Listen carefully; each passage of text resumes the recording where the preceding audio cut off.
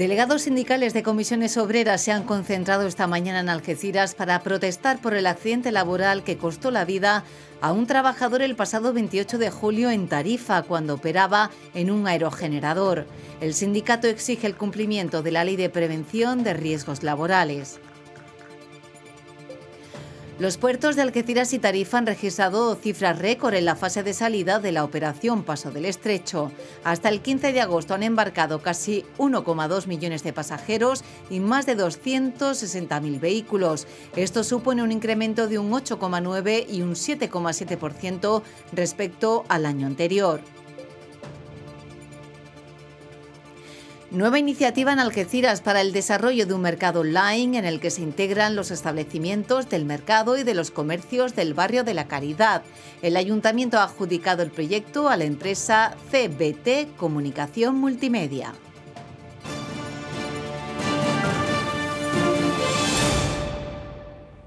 ¿Qué tal? Buenas tardes. Bienvenidos a una nueva cita con la información en Onda Algeciras Televisión.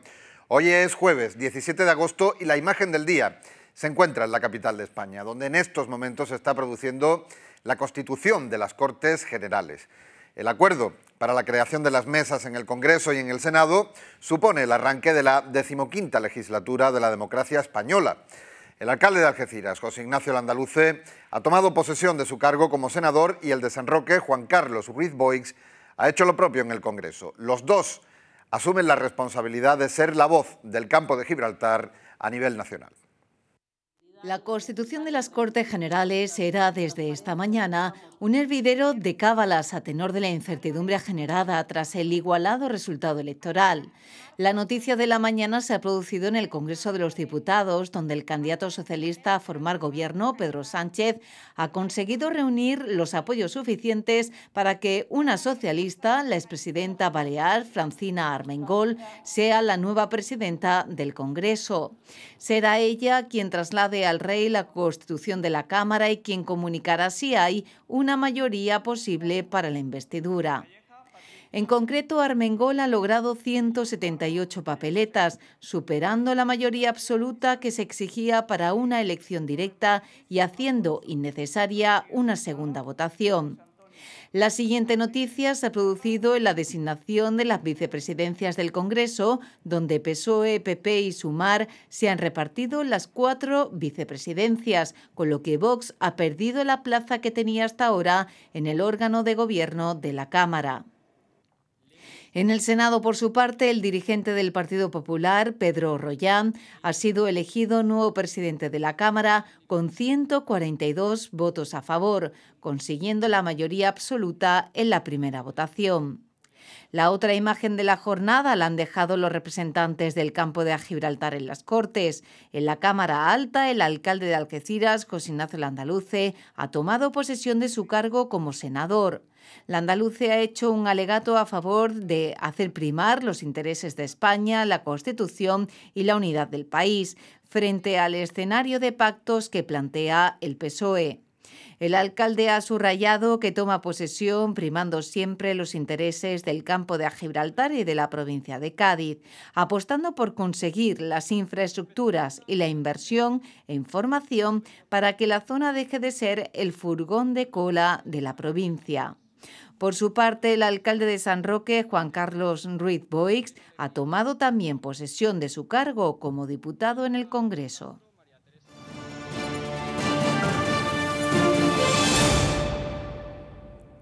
Delegados sindicales de comisiones obreras se han concentrado esta mañana frente a la subdelegación de la Junta en el campo de Gibraltar para protestar por el accidente laboral que costó la vida a un trabajador el pasado 28 de julio en Tarifa cuando operaba en un aerogenerador. El sindicato que ha puesto los hechos en conocimiento de la Inspección de Trabajo ha exigido el cumplimiento de la Ley de Prevención de Riesgos Laborales. Delegados sindicales de comisiones obreras, encabezados por su secretaria provincial Inmaculada Ortega, han protagonizado esta mañana una concentración de protesta frente a la subdelegación del Gobierno de la Junta de Andalucía en el campo de Gibraltar. El motivo era el accidente laboral que costó la vida a un trabajador el pasado 28 de julio en Tarifa, cuando trabajaba operando en una planta aerogeneradora. Tras un minuto de silencio, el secretario de Salud Laboral de Comisiones Obreras, José Gavilán, ha dado lectura a un manifiesto en el que expresan la repulsa por la sangría de accidentes en la provincia, un total de 6.591 hasta la fecha, de los que 1.443 se han dado en el campo de Gibraltar. El sindicato pide el cumplimiento de la Ley de Prevención de Riesgos Laborales.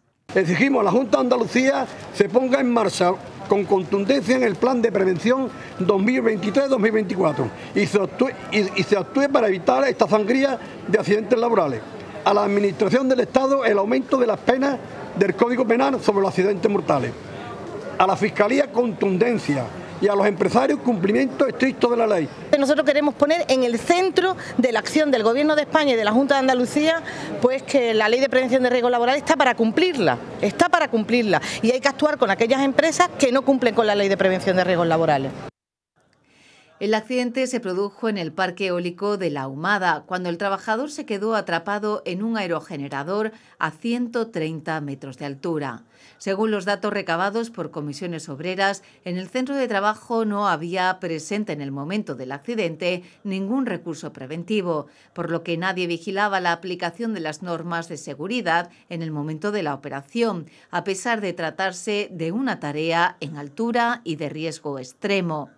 El sindicato ha puesto los hechos en conocimiento de la inspección de trabajo, ya que entiende que se produjo una vulneración de la normativa que acabó con la vida del trabajador de 41 años de edad. Los puertos de Algeciras y Tarifa han registrado cifras récord en la fase de salida de la operación Paso del Estrecho 2023, que se inició el pasado 15 de junio. Así, hasta el pasado 15 de agosto han embarcado hacia los puertos de Ceuta, Tánger Med y Tánger Ciudad casi 1,2 millones de pasajeros y más de 260.000 vehículos, lo que supone un incremento de un 8,9 y un 7,7% respectivamente respecto a la fase de salida del año pasado. Ahora se intensifican los desembarques en la fase de regreso hasta el próximo 15 de septiembre. En la fase de salida de la operación Paso del Estrecho 2023, el día de mayor punta ha sido el domingo 30 de julio, cuando se registró en un solo día el paso de 40.533 pasajeros y 9.791 vehículos, con llegadas de más de 400 coches cada hora. Así, en el fin de semana de mayor afluencia, coincidiendo con los últimos cuatro días del mes de julio, los puertos de Algeciras y Tarifa, que gestiona la autoridad portuaria, embarcaron más de 130.000 pasajeros, el equivalente a prácticamente la población censada en ambos municipios. El primer fin de semana de agosto y los fines de semana del 16 y 23 de julio también han registrado cifras destacadas, con entradas de una media de unos 30.000 pasajeros y 7.000 vehículos en los días puntas. Asimismo, destaca el número de pasajeros y vehículos embarcados a finales de junio, coincidiendo con la celebración de la fiesta del Cordero, lo que supuso además el adelanto de la activación del dispositivo OPE fecha en la que ya estaba incorporado todo el personal y disponibles todas las zonas de preembarque en el interior del recinto portuario y parte del llano amarillo.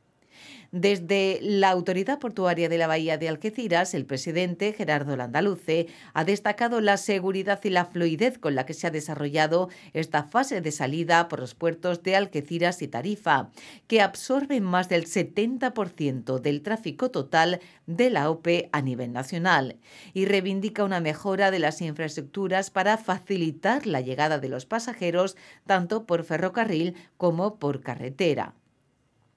El dispositivo humano de la Autoridad Portuaria de la Bahía de Algeciras, en la OPE, está formado por un millar de personas. A la plantilla habitual se une la incorporación de trabajadores eventuales como auxiliares OPE informadores, además del refuerzo de policía portuaria. En paralelo, la institución portuaria ha dispuesto para este periodo más de 7.000 plazas de preembarque, 30 módulos de aseo, 6.000 metros cuadrados de sombras. A ello se ha unido acciones como el reparto de agua, entre los usuarios en los días de más calor o el refuerzo en las tareas de limpieza. En total, la inversión de la institución para atender la operación Paso del Estrecho asciende a 2 millones de euros. Nuevo apoyo a la estrategia verde de la Autoridad Portuaria de la Bahía de Algeciras. En esta ocasión se trata de la empresa Gabarras y Servicios, la que se ha adherido a la iniciativa, mostrando así su compromiso con la sostenibilidad. El documento ha sido rubricado por el presidente de la institución portuaria, Gerardo Landaluce, y el consejero delegado de Gabarras y Servicios, Pedro Marcet, quienes han repasado las últimas acciones que la compañía ha implementado con el objetivo de reducir su huella de carbono. Con más de 40 años de experiencia en el puerto de Algeciras, su adhesión a la estrategia verde se plasma en medidas concretas como la apuesta por la innovación en todos los servicios que ofertan, desde reparaciones, recogida de residuos o la lucha contra la contaminación marina. Para ello han invertido en equipos, tanto embarcaciones como vehículos, que no solo permiten una mejor atención, sino también un menor consumo. Según el presidente de la Autoridad Portuaria de la Bahía de Algeciras, Gerardo Landaluce, el apoyo de Gabarras y servicios consolida la apuesta que desde la Autoridad Portuaria se está haciendo por un crecimiento y un desarrollo sostenible. Además del compromiso de las empresas que operan en las instalaciones portuarias, la Andaluce ha recordado que la estrategia verde se concreta en diferentes actuaciones, como la sustitución del alumbrado por luminarias LED, la mejora de la eficiencia en las instalaciones, la instalación de placas solares para autoconsumo, los proyectos para dotar de suministro eléctrico a los muelles de Tarifa Algeciras, así como el apoyo a distintas iniciativas relacionadas con la descarbonización y el uso de combustibles alternativos, como el gas natural licuado o el hidrógeno verde, entre otros proyectos.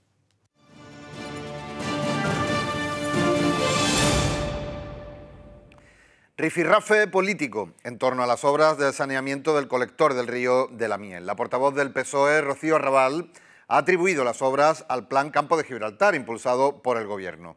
Declaraciones a las que ha salido al paso el delegado de Malgesa, Álvaro Márquez, que ha asegurado que las obras están financiadas con cargo al canon local y ha pedido a la líder de la oposición que deje de hacer el ridículo.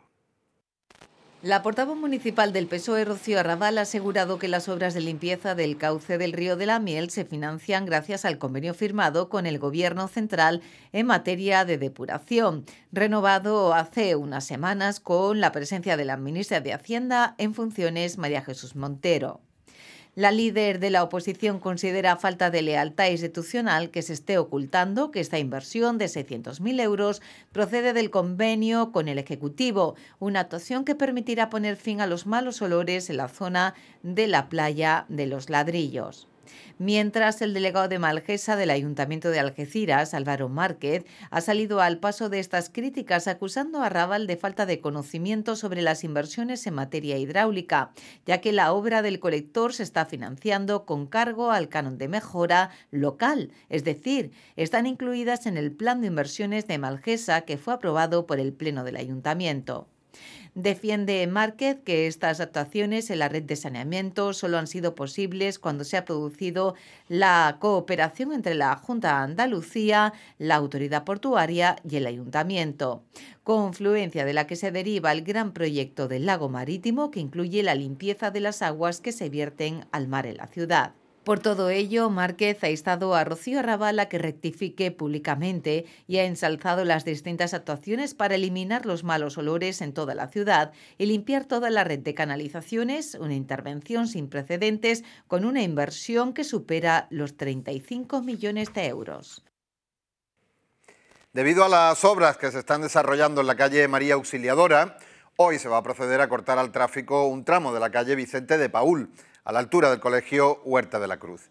El tramo permanecerá cortado desde las 8 de la mañana de hoy hasta las 3 de la tarde de mañana viernes. En este sentido, el delegado de Malgesa, Álvaro Márquez, ha explicado que para reducir al máximo el impacto de este corte de la vía, será necesario cambiar el sentido de la calle Jaén hasta la calle Zaragoza. El edil ha pedido disculpas a los vecinos por las molestias causadas y ha explicado que se pondrán todos los medios posibles para cumplir los plazos marcados. La fruta o el pescado desde casa y a golpe de clic es el objetivo de una iniciativa que ha vuelto a poner en marcha el desarrollo de un marketplace, un mercado online por Internet en el que se integran los establecimientos del mercado y de los comercios del barrio de la Caridad. El ayuntamiento ha adjudicado el proyecto a la empresa CBT Comunicación Multimedia. La mesa de contratación del Ayuntamiento de Algeciras ha adjudicado a la empresa CBT Comunicación Multimedia el diseño y la puesta en marcha de un marketplace para el mercado Ingenio Torroja y los comercios del barrio de la Caridad para facilitar que puedan vender sus productos online de forma sencilla y intuitiva. Cuenta con un presupuesto de 40.000 euros que está confinanciados por fondos FEDER de la Unión Europea. La delegada de Mercados y Comercios, Sabina Aquiles, ha explicado que el ayuntamiento pretende con este proyecto poner a disposición de los productores, profesionales y comercios locales una herramienta que permita a través de las nuevas tecnologías fomentar la comercialización de sus productos por vías digitales, dinamizar el tejido empresarial, proyectar su potencial hacia el exterior y fomentar la proximidad de sus productos a usuarios en el entorno digital. El contrato incluye la gestión del propio proyecto durante la vigencia del mismo, así como las propuestas de mejores opciones de envío, pasando por todos y cada uno de los procesos que conforman la operativa de la venta. La delegada de Urbanismo y de Fondos Europeos, Jessica Rodríguez, ha manifestado que la situación actual del entorno económico y social del pequeño y mediano comercio hace necesario que la Administración local apueste por herramientas de dinamización e impulso de estos comercios y negocios locales, aprovechando para ello las ayudas que se ofrecen desde la Unión Europea. La mayoría de los comercios del barrio de la Caridad son negocios tradicionales en los que es necesaria la innovación en sus estrategias de venta y la adaptación a las nuevas tecnologías para mejorar su competitividad.